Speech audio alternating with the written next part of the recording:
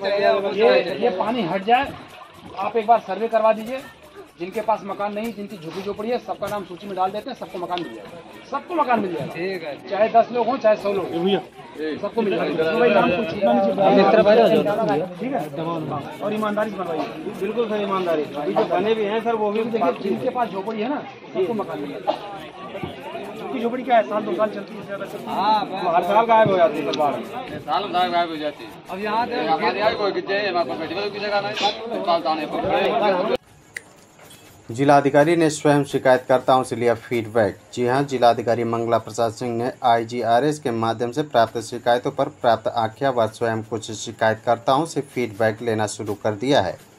आज भी उन्होंने रैंडम आधार पर छह शिकायतों के संबंध में फीडबैक लिया। शिकायतकर्ताओं की असंतुष्टि का कारण जानकर उन्होंने तत्काल संबंधित अधिकारियों को आवश्यक दिशा निर्देश दिए।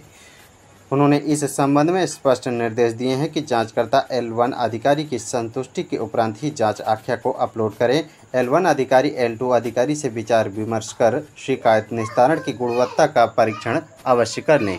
किसी भी लापरवाही के मामले में संबंधितों की जवाबदेही तय की जाएगी।